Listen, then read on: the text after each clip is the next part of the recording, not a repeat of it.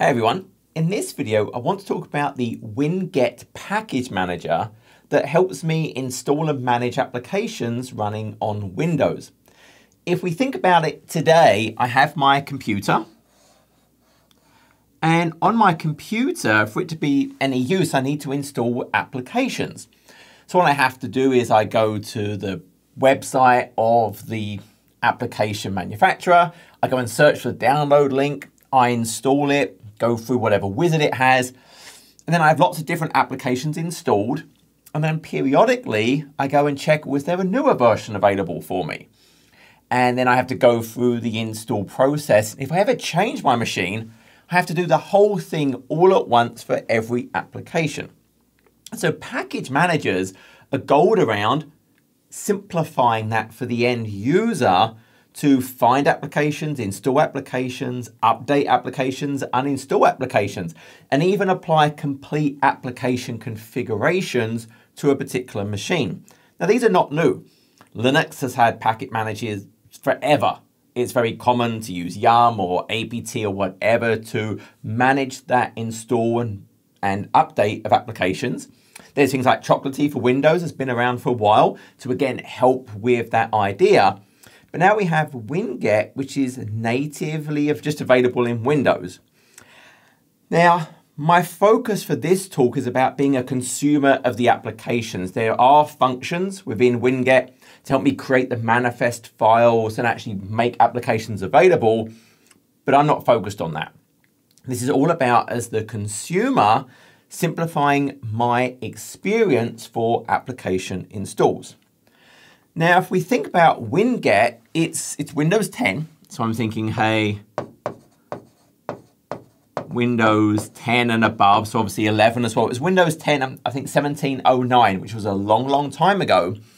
And the way this works is Winget gets installed on my machine as soon as I authenticate to the machine, it goes and connects up to the Microsoft Store. So if we think about cloud repositories of applications, one of the big ones available to me is the Microsoft Store.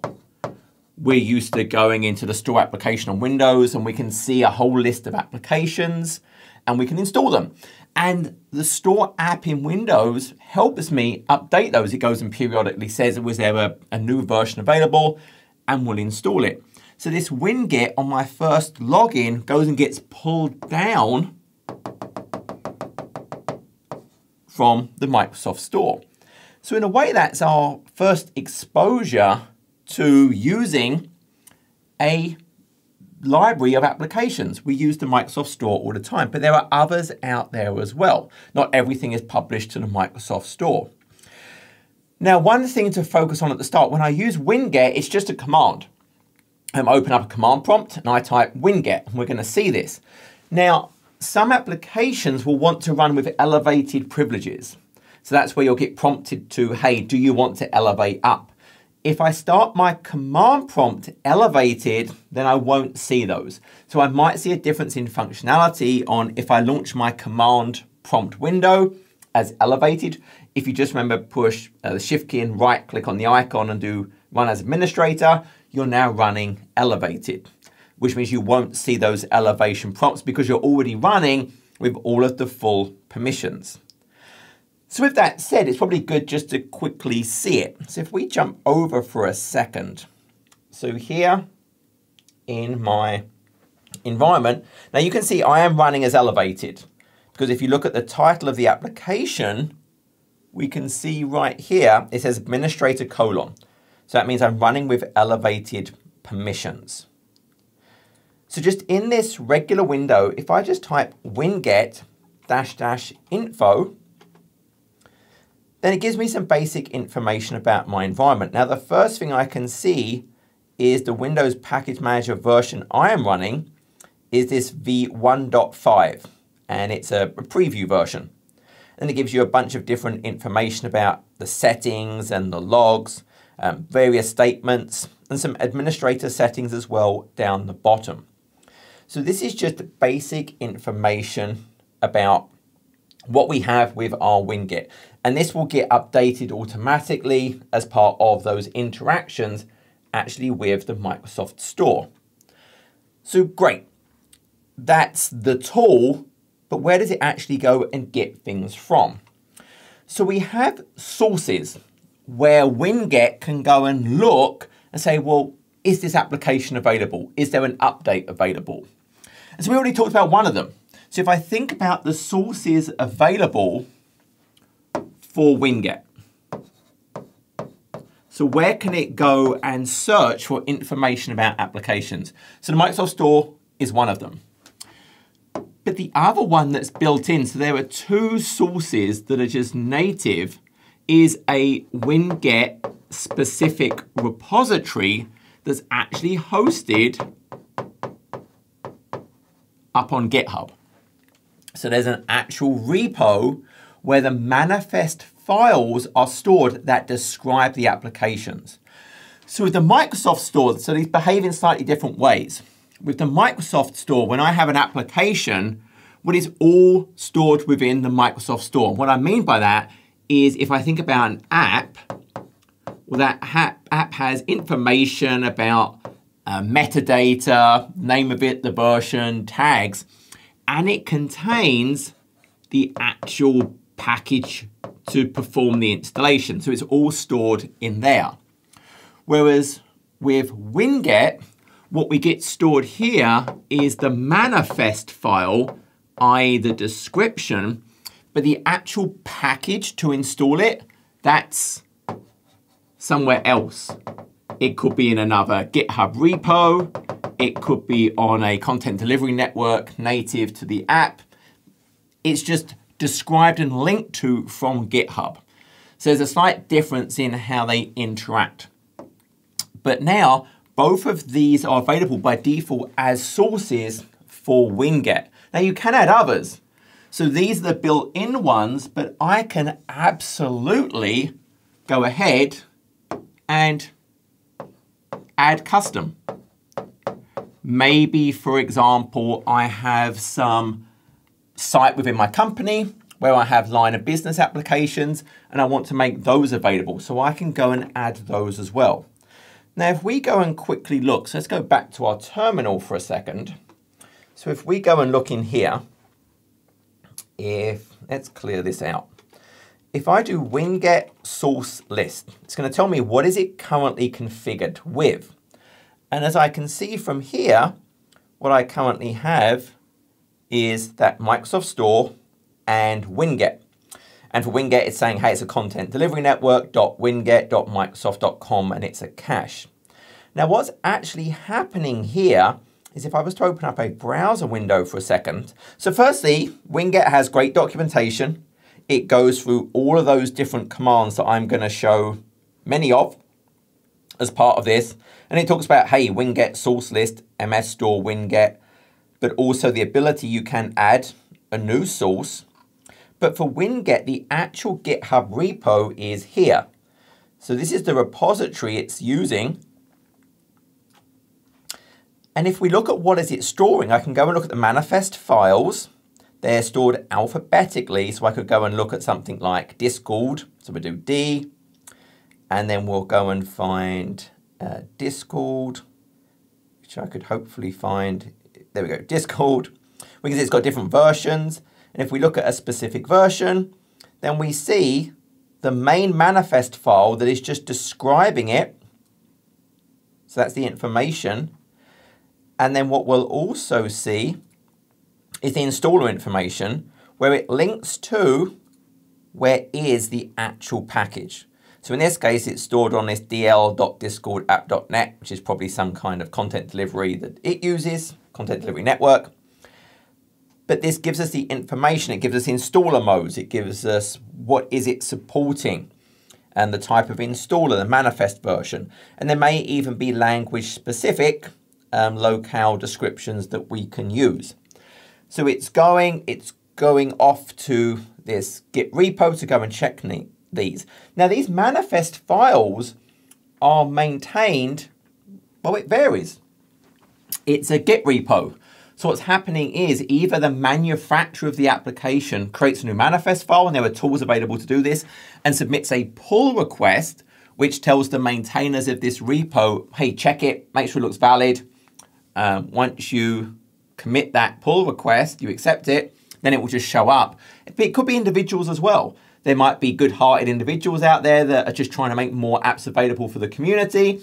They submit the pull request with the metadata in, it gets validated, and then it's available to us. So these are the sources that when I go and, hey, look for an application, it's going to find those. And again, I can add my own custom ones if I want to. Now, there are various features available in Winget. Now, there's very basic things like, hey, I can search, I can list what I have, I can install, I can uninstall, export, import. But there may be experimental things. Now, I think some of this varies depending on the version you're using.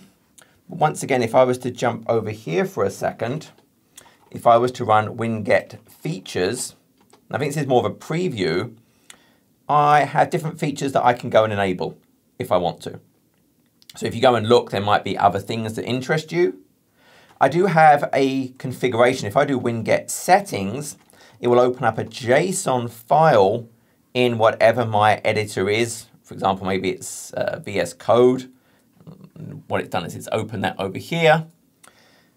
And there are various things I can add in as part of, hey, what's some special configuration I want done as part of this?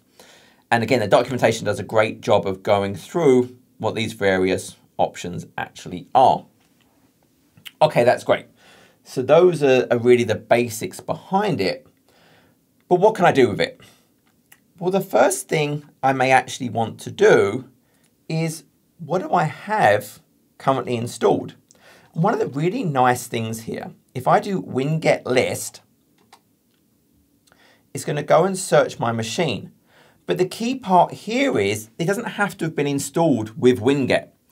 If you look in all this list of applications, if we look in this far right hand column, we have source. And sure, some of them say Winget, some of them might say MS Store, but a whole bunch don't. But this is showing me everything that it can find out about that is installed on my machine. So even though I've maybe never used Winget, obviously I have a few times here, but even if I'd never used it, I still will be able to see all these various applications. Now I might want to find out information about a particular app that I have on my machine. And this is a key part. When I'm doing winget list, so this list command is focused on my machine. This is not searching some repository out there. When I'm doing winget list, what I'm looking at here is what do I have installed on my box? So if I think about over time, I'm getting various applications installed on my machine, and they have various metadata and versions associated, when I run the list command with winget, it's looking at my local machine and what is installed. That's the key part about what we're doing with list. It's not searching the repositories, it's saying, what do I have locally on the machine? And it can give me some nice information about them. So again, if we jump back over here, there's a whole bunch of stuff here but I could look for a particular app. So show me information about OBS Studio. I know I use that a lot. So it's showing me, okay, yep, this is your OBS. And hey, look, there's a, a newer version available right there. I could also do dash dash name. I could also use tags. So hey, show me applications maybe I have. Uh, let's try chat. I don't know if I have anything with chat, probably Teams. Okay, no. Um, notepad. So I've got Windows Notepad. So you can search for different categories of applications that I may have available on my machine. So I can go and see what I have right now. So it's not just, hey, if it was installed with Winget, it's not just things in the repo. I can go and use it to look at what we have. Now the next thing I'm liable to want to do is I want to install something. I want to find an application. So what we can then use is the search command. So the whole point of the search command is absolutely as the name suggests, when I run search, what I'm doing here is I'm looking against all of those sources that have been registered. So hey, I'm trying to find a certain application and maybe I'm searching by part of the app name. Maybe I'm searching using those tags because again, we have all this nice metadata that includes tagging. We saw that when I looked at that GitHub. We could see in the manifest there were tags associated with it. So I can use winget search to try and find some application actually on my machine. So if we go back over to here, okay, I want to find something. Um, so I'll do winget search. Now I can just type the name, or I can do Q code, doing exactly the same. So there's lots of apps here that have something to do with coding. And we can see the various sources. So I can see some of them, can see it searching. The first batch can be found in the Microsoft Store. All the rest of them can be found um, in Winget. And one of the things you will notice in the Microsoft Store, the version always shows as unknown. This is a issue right now that the Microsoft Store doesn't correctly tell you a version. And so it used to just say latest. Well, the problem with saying latest is winget would interpret that as always meaning there is a newer version because latest wouldn't match what was the actual version ID on the local machine. So it would always tell you there's a new version. So they just change it to unknown. So that will probably change in the future once the Microsoft Store sends out a valid version, but you'll always see unknown if the source is the Microsoft Store. So it's finding me all these names that have um, code in them. Likewise, I can use that same tagging. So maybe I want to search for applications that have been tagged as a chat app. So now I can see, okay, if I look up here, there's some in the Microsoft Store. Okay, Zoom, WhatsApp, WeChat, Tim, Revolt, a whole bunch of different applications available here. Now I might want to get more information about one of these applications. So then I can do show. So I could say, hey, show me information about, uh, maybe it's the Microsoft Power Toys, for example. And so if I think about that manifest file that is both in the Microsoft Store and is in the Winget GitHub repository, well, now it's showing it to me. Notice it's showing me all of the information about things like, well, what are its tags? So if I search for any of those as an item, it's going to find it for this app. It's going to show me the installer. So in this case, hey, the installer is in its own repo, Power Toys releases, etc., etc. So I can go and get specific information. I could search for information on an app from a specific source. So I could say, hey, winget show OBS, and I only want to show me the source where it's winget. Sure enough, it works. I could say, show me what versions are available. So I do dash dash versions at the end of it down here. So I'm just adding, it's dash dash, not one dash. So you'll see it's dash dash if it's a word, it's a single dash if it's just the letter. And I can see, oh, there's different versions. So I could, if I wanted, go and install a specific version of the application. So I can search and then I can go and get more information and I can do show to get more detail about maybe that particular app to work out, oh, is that the one I really, really want? Once I have that, well, now it's time I want to take one of these apps and get it on my machine. And this is very obvious. It's going to be installed. So I want to install an app from one of these things. And I can be as vague or as specific as I want to be. So if we go and look over here, and let's clear this out again.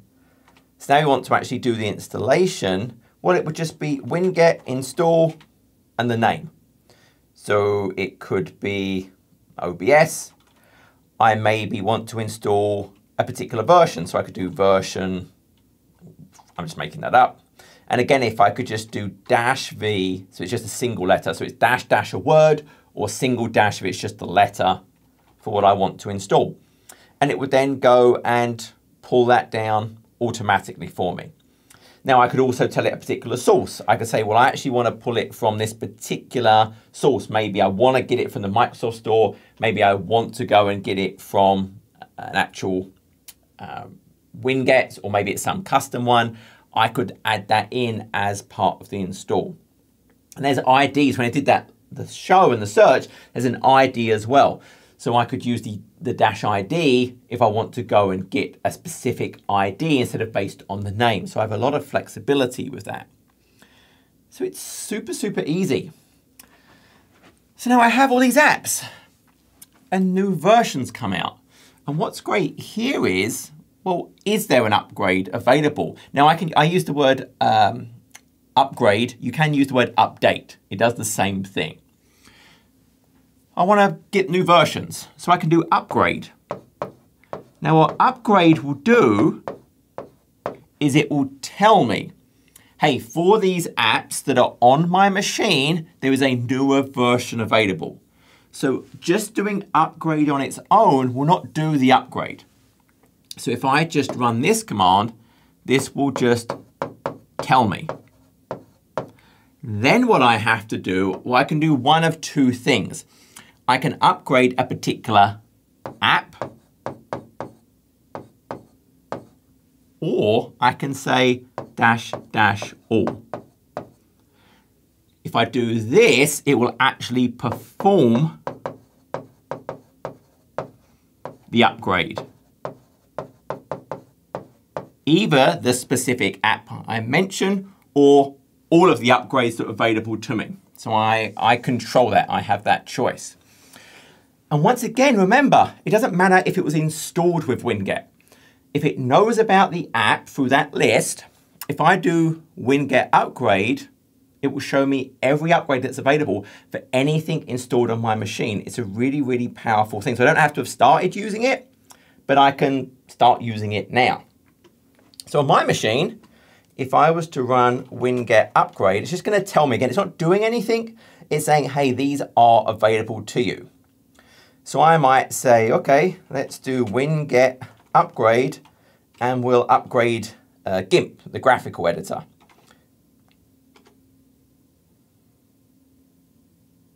So it's downloading it from the source. So in this case, it's available from download.gimp.org. So again, with Winget, it's just a metadata stored in the Git repo. The actual binaries, the ones and zeros that make up the package, could be anywhere. So it's pulling it down for me. It's gonna it has a description in the manifest of what to do in an upgrade scenario. So it might just be doing an install, whatever that may be. It may require some interaction. There might be different things I can configure on this, but essentially at this point, it's gonna go away. And I'm just doing it with a single application, but obviously what would be very common, so what's interesting over here, just open it up, it's fired off the little GUI to go and perform that actual install for me. If I was, while that's running, if we was to go and actually look at the manifest for GIMP, just out of pure curiosity. So if we go and look for GIMP, if I can find it again. GIMP, oh, GIMP, GIMP, there we go. we can see all the different versions are available to me find the latest one. And it will tell you about the installer. And it's got here upgrade behavior. So its upgrade behavior is to do an install. It tells me all the file associations for it, different installers for different architectures. So we can see all of that great information about that. Meanwhile, that setup is still running. But you can see how simple it was. I didn't have to go and launch GIMP and go and search for it, well, is there a check versions button or any of that? It just goes and does it for me. So this is just now gonna sit and run in the background. But again, my other option here, well, I could do multiple apps, or I could just do that dash dash all. So if I do the dash dash all, then, well, exactly as the name suggests, it will just go and upgrade them all. So maybe weekly, I could just open this up and I'll do, hey, uh, Winget upgrade and I'll have a quick look. And then I'll just do a Winget upgrade dash dash all. and go and grab myself a bowl of cereal or something while it updates every app on my machine, whether I installed it with Winget or not, to that nice new version. So that's part of the capabilities for this. And that's why I think it's so powerful. I don't have to have started off using this at all. And that's finished. So now if I ran that Winget upgrade again, GIMP has gone because it's upgraded it. There's nothing more for it to do there. So that is a, a really, really cool capability um, to be able to do that.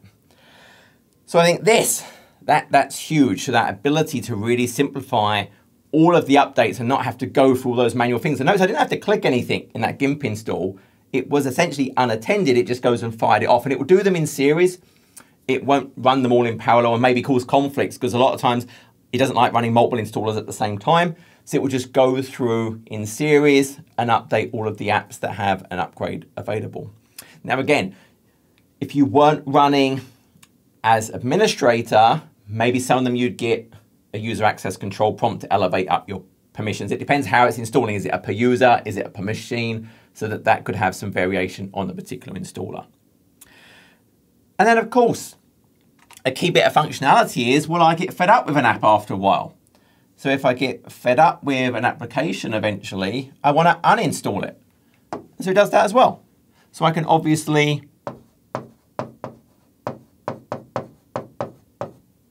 uninstall. And exactly as the name suggests, hey, winget uninstall, uh, dash dash the name, the name of the app. I can add a version. I could do it by um, the ID, so I could do dash ID and then the GUID of the application. So I would just do a winget list, and then from the list it would tell me, and then I can do a winget uninstall. So I, I can, hey, I don't want this thing anymore. And again, I don't want to have to open up an installer or anything else to remove it uh, I'll just use my package manager that is Winget. And that's really the, the whole point behind it. Now, one other thing I really like about this Winget is, hey, over time, I've installed a whole bunch of different applications. And periodically we reinstall our machines. Maybe we get a nice new shiny machine, or maybe every six months or a year we just like to reinstall and, and clean slate the thing. So one of the things I can do with Winget is an export. So here, if I do a winget export, what it's going to do is generate out for me a JSON file.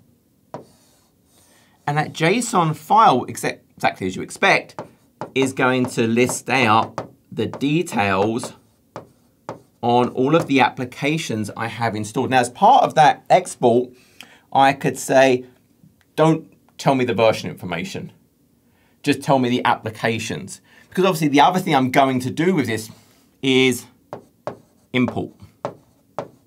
So when I have my shiny new machine, I can point it to that JSON file, and now every app I have listed in there, it can import them in. Now, if I did have version information in there, it doesn't matter. There is an ignore versions parameter on the import. So it, whether there's versions exported or not, if I don't export the versions, hey, it's just going to install the newest ones when I do an import. If I do have the versions, well, if I import, it will install that version.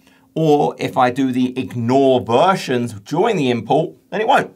It will just take the latest version that is available to me and I'll just get the nice, shiniest code. And that's it. So that is the point of Winget. This is not super complicated, it's not magic, it's not some brand new concept that Microsoft have created. The idea of a package manager has been around for a really long time. There, again, have been package managers for Windows for a while. But this is now just natively built in to Windows. Hey, I log on, it's going to go and pull it down from the Microsoft Store. It's going to configure these two sources by default, the Microsoft Store and the Winget repository. I can go and add my own if I want to, if I have some corporate line of business store where I want to be able to integrate with Winget. But it really makes it easy to manage all of the applications. I can see what I have on my machine, whether I installed it with Winget or not. I can go and find apps, I can see detail about them, I can install them, I can easily upgrade a particular app or all applications, I can uninstall, and I can even say, hey, I've had this machine now for a year, or maybe just periodically, let's export all the apps so that ever if I reinstall, I don't have to manually go and even type in the winget or try and remember what I had. I'll just import this JSON file and we'll go and pull all the latest versions or particular versions if that's what I want. So that was it. Uh, as always, I hope this video was useful. Till next one, take care.